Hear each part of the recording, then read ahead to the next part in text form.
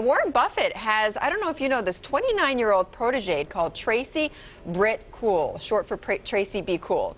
And she has become basically uh, the replacement for David Sokol. If you remember, David Sokol was kind of the right-hand man for Warren Buffett who went around and did all the deals for him. She has now become kind of that person for him, and she's the chairman of several of his companies, including Benjamin Moore. She's made some really tough decisions. She's fired people in the process, but she's had some good outcomes from that. Good meaning that those companies have have shaped up. And so she's 29 years old. She's a 29-year-old kid who's the chairman of four Berkshire Hathaway companies.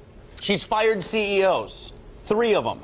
So the, that's amazing. Right. So she's unusual one because she's 29, two because she's female. Mm -hmm. That's not something you normally see. But obviously her parents knew something we didn't know. Her name is Tracy. They were farmers. B. They were Tracy Be Cool. You can't yeah. name your kid that unless you know she's going to do great things. It's like naming your kid Learned Hand. Obviously you knew he was going to be Supreme Court Judge, Justice. Right. By the way, Sheryl Sandberg we talked about earlier, Harvard. Tracy yes. Be Cool, Harvard. I think Mohamed El-Erian, Harvard. Harvard. Uh, but, you know... Online courses, to Harvard. Put, to put it in the whole Berkshire context, though, I mean, he's basically got a new generation of leaders that he is clearly, um, you know, grooming. Her, Todd Combs, Ted Weschler, he calls them the three T's.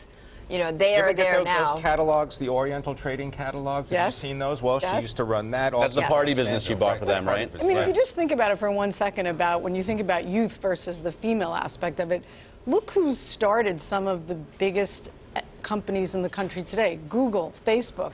Those were all started by 20-year-olds. Yeah. So I cheer, you know, bravo to Warren for picking a young person to lead his company in a time where young people are starting and Putting that company. confidence. But well, she's also, the, the funny thing about her is she's not coming up with a new internet startup, right? She's thinking about compound interest. She's reading Benjamin Graham. She's going through 10Ks. She's doing the most boring things on the planet, which is why Warren Buffett loves her, right? He says she thinks a lot like me. Uh,